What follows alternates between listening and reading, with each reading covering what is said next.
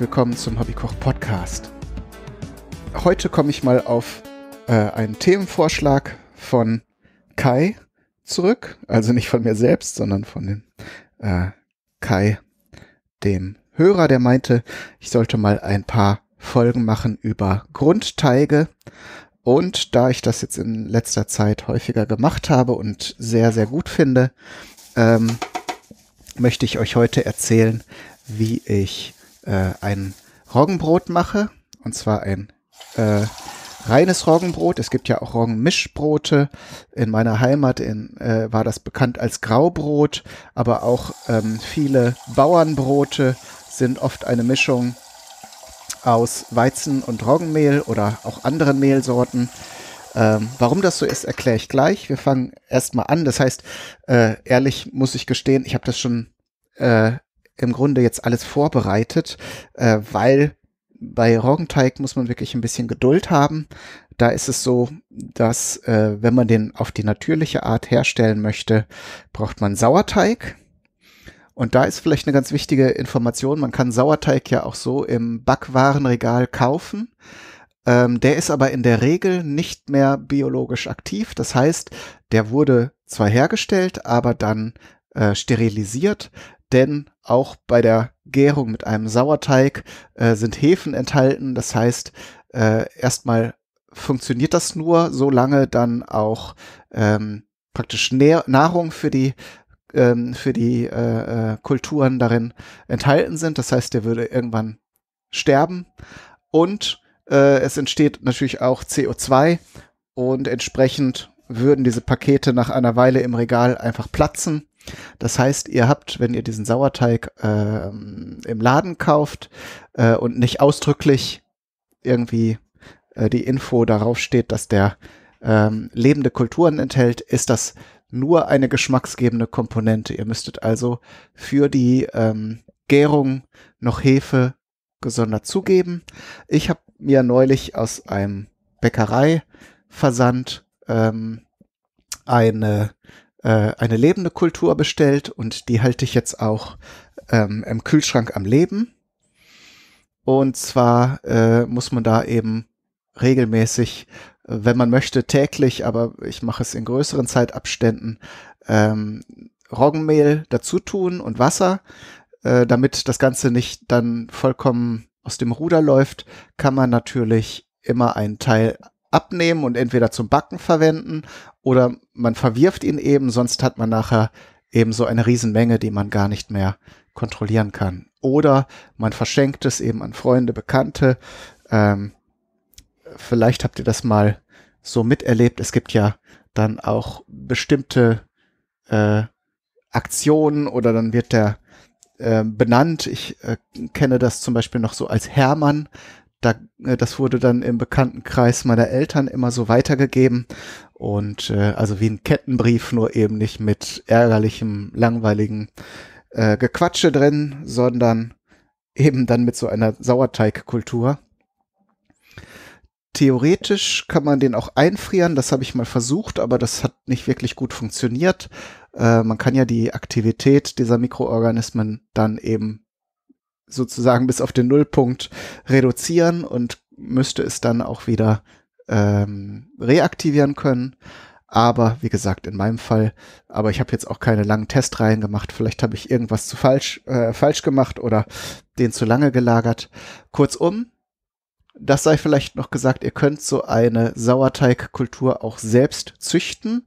Das braucht allerdings bisschen Geduld und Zeit, denn ihr müsst über mehrere Tage dann im Grunde das, was man auch tut, um den, die äh, Sauerteigkulturen am Leben zu erhalten, muss man am Anfang mehrmals machen, bevor man ihn verwenden kann, nämlich Tag eins äh, 50 Gramm Mehl, also Roggenmehl äh, und Wasser mischen, dann am nächsten, äh, dann im Warmen stehen lassen, am nächsten Tag die Hälfte wegnehmen, verwerfen und äh, wieder Roggenmehl und Wasser äh, die gleiche Menge zugeben ähm, so dass über die Zeit sich die gewünschten ähm, ähm, Kulturen, das müssten, soweit ich mich äh, richtig erinnere, so Essigkulturen und eben wilde Hefen sein, die vermehren sich in dem Teig und schädliche äh, Einzeller werden dann eben äh, so nach und nach verdrängt. Und nach dem fünften oder sechsten, andere sagen nach dem zehnten Tag, nachdem ihr diese Prozedur immer brav täglich wiederholt habt, ähm, habt ihr einen äh, Sauerteig, der sich dann auch schon zum Backen eignet. So, wie gesagt, das habe ich auch schon mal ausprobiert, das funktioniert. Ähm, ihr müsst es dann aber wirklich, ihr könnt den, den, den Sauerteig dann auch im Kühlschrank aufbewahren, dann müsst ihr nicht mehr täglich nachfüttern, sondern so im Wochen- oder zwei Wochen Rhythmus. Ähm, aber das erfordert natürlich dann sehr viel äh, Disziplin und Koordiniertheit und das hat bei mir, naja, sagen wir mal, ein paar Monate funktioniert, aber äh, so auf Dauer ist es natürlich dann bisschen schwierig. Äh, zumal man, zumal ich jetzt auch keine großen Mengen Brot brauche und dann immer backen und große Brote. Naja, so viel zum Vorgeplänkel. Äh, das Backen an sich ist relativ einfach. Ihr mischt ähm, einfach die gewünschte Menge Roggenmehl, das heißt ein Teil davon. Ich nehme so meist äh, 300 Gramm ähm, mit dem gleichen Teil Wasser, gebt dann eure Sauerteigkultur dazu und vermengt das gründlich, lasst das über Nacht gären und wenn alles richtig gelaufen ist, ähm, verdoppelt sich die Teigmenge und dann gibt man nochmal Roggenmehl und Wasser dazu, aber in dem Fall etwas weniger Wasser, damit der Teig nicht zu matschig wird, lässt das Ganze nochmal gären. Ähm, Dazu kann man dann auch noch ein sogenanntes Brühstück tun. Das mache ich häufig, weil ich es ähm, oft nicht schaffe, das Brot ganz aufzuessen. Dann äh, schneide ich es in Scheiben und lasse die Scheiben trocknen. Natürlich muss man darauf achten, dass sie nicht äh, verschimmeln. Und ähm, wenn man den Sauerteig ansetzt, äh, übergießt man ähm, so eine oder zwei getrocknete Scheiben von dem äh, trockenen Brot mit heißem Wasser, ähm, tut ähm, etwa einen Esslöffel äh, Salz dazu, also einen gestrichenen, und äh, lässt das über Nacht im Kühlschrank einweichen und kann das am nächsten Tag mit zu dem Teig geben. Das reicht, reicht dann von der Wassermenge eigentlich aus, wenn man dann noch eben 200, 300 Gramm Mehl dazu gibt, äh, dass ein äh, einigermaßen fester Teig entsteht. Dann lässt man den nochmal zwei, drei Stunden gären. Und äh, in meinem Fall, ich habe jetzt mir so einen Gärkorb besorgt. Ähm, den muss man aus, äh, auspudern mit äh, Stärke und eben auch Roggenmehl. Gründlich und äh, gleichmäßig bedeckt. Und dann tut man den Te Teig rein und lässt ihn noch einmal gären, bis er die doppelte Größe erreicht hat. Und dann muss man ihn im Backofen äh, einmal sehr heiß für 10 bis 15 Minuten backen. Ähm, dann äh, bildet sich so die erste Kruste. Man kann ihn dann auch noch einschneiden. Das ist auch empfehlenswert, damit eben äh, ja die, der der äh, Teig sich ähm, seinen Weg bahnen kann und eben nicht so eine sehr kompakte und klitschige Konsistenz hat. Also entsprechend luftiger wird das Brot nachher.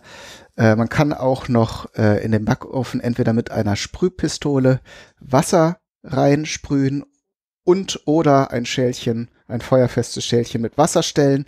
Das fördert die Krustenbildung. Das nimmt man aber, sobald das Brot Farbe beginnt Farbe anzunehmen, raus und lässt auch den Dampf, der im Ofen ist, äh, entweichen, damit eben die äh, Kruste auch knusprig wird. Dann stellt man die Temperatur auch etwas runter auf 180 Grad und backt es dann noch etwa weitere 30 Minuten. Ähm, und dann kann man das äh, testen, wenn man auf das Brot klopft und es einen hohlen Klang hat, also keinen dumpfen, sondern so einen, äh, einen richtigen Schall wiedergibt. Also äh, dann ist es durchgebacken. Und dann ist noch wichtig, dass man es mindestens zwei Stunden ruhen lässt, am besten sogar bis zum nächsten Tag. Das Brot gart nämlich noch weiter. Äh, und wenn ihr es direkt aus dem Ofen holt und anschneidet, dann wird es doch relativ klitschig und ähm, ähm, ihr habt da kein Vergnügen mit. Es muss also tatsächlich noch mal ein bisschen reifen und ruhen. Äh, dann ist es allerdings ein Riesengenuss.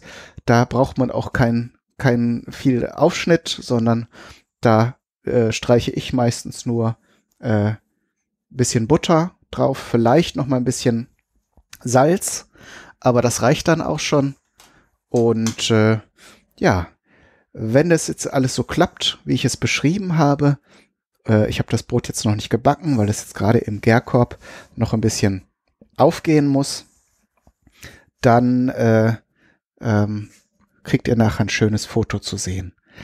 Ähm, für weitere Informationen empfehle ich euch einen anderen Podcast.